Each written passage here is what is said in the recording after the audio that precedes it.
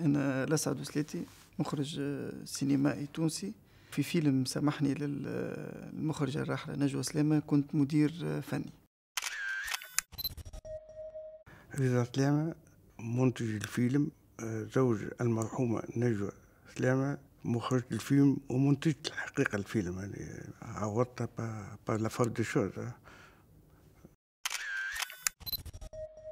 فيلم سامحني هو اللي هو سيناريو نجوى الإمام سلامة ومشاركة عماد الدين الحكيم. هو فيلم يحكي على يعني آه، قاضي يعرف إنه صار خطأ في الملف الطبي نتاعو إنه هو يعني مريض بالكونسير. وسجين يخرج من الحبس يكتشف إنه مازال شهر باش معناتها شهر ويموت. وفيلم كامل يحكي على واحد القاضي وراء المريض هذا السجين نتاعو باش يقول له سامحني. يعني في الآخر يحب يوصل إنه يقول له كلمة باردون خمسة سنين قاعد تحضر في السيناريو. وسيناريو أنت أوتر يحكي على واحد مريض بالسرطان عافاك ما عافاك الله. ومن بعد هي مرضت بالسرطان وكنت أني ظانن اللي هي باش تبطل الفيلم. وتفاجأت أنا شخصيا اللي هي وصلت العمل متاعها لآخر دقيقة. وقت اللي هي فهمت اللي قريب باش تتوفى. فهمت خاطر هي هي تمشي للطبيب وتاخذ لي رابور الكل حتى في ألمانيا الكل. donc وتعرف تطور المرض نتاعها donc وقتها مثلا عملت برنامج نتاع ال tournage لمدة ستة أسابيع زوري رديته في أربع أسابيع.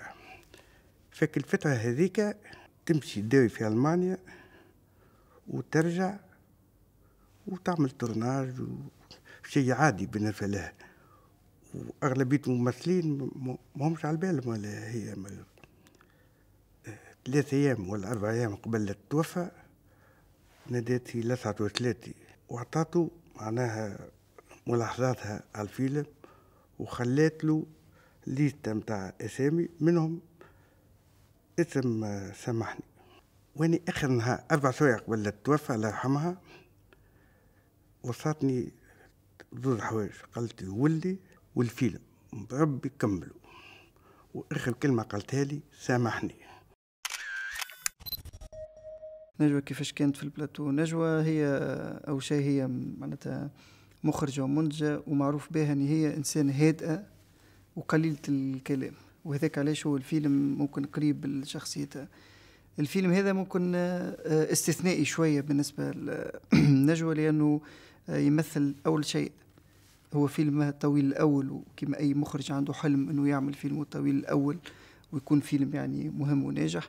ثاني شيء هو تحدي آه، تحدي للمرض تحدي للحياة تحدي للموت. فممكن الفيلم بالنسبة لنجوى هو حياة أخرى. يعني وهذاك علاش هي كانت ممكن آه أنا نعرفها عندي 12 سنة ونعتبر نفسي احد تلامذتها واحد معناتها المرافقين لها في المدة هذه. آه كك الطفل الصغير اللي عنده لعبة وفرحان برشا باللعبة هذه وهكا آه نجوى كانت. كانت يعني ممكن عمري مريتها في الفرح في النشاط في في القوة.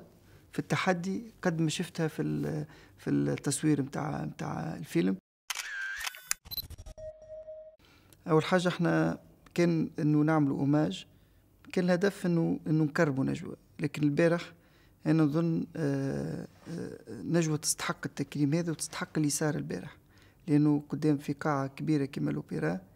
من قبل بيوم نفذوا معناتها ما كانش فما تذكر آه، الأوركستر اللي عزفت البارح واللي واللي آه، كان زاده مفاجأة للجمهور تفاعل الجمهور في حاجتين تفاعلهم مع الفيلم مع قوة الفيلم والصدق اللي في الفيلم. اثنين آه، حتى الجمهور أنا البارح كرم نجوى كرم نجوى في تفاعله كرم نجوى في وقت اللي يسمع الموسيقى كرم يعني أنا بالنسبة لي أنا نجوى آه، استحقت التكريم اللي صار البارح. ونظن إني اللي صار البارح مش يقعد يعني مش يقعد لحظة تاريخية ولحظة مش تقعد لزوجها لأبنائها آه، للسينمائيين اللي يعرفوا نجوى آه، واللي يحبوا نجوى. القاعة ترفع 1800 الجمهور اللي قاعد معناها ما نجمش يدخل نجم نقول لك الدوبل هذا أول حاجة تنقون مارج النجوى. بطريقة التنظيم بحضور الجمهور بالطريقة معناها أوريجينال اللي قدمنا به الفيلم. وإن شاء الله الفيلم تاعها خاطر هي وصاية إنباح نجم نقول بالنسبة لي يوم تاريخي إلا وصلت الأمانة كما قلت لهم في الكلمة متاعي تو أعطيتها للشعب التونسي الأمانة هذه. فهمت؟ إن شاء الله يلقى نجاح يلقى نجاح كبير.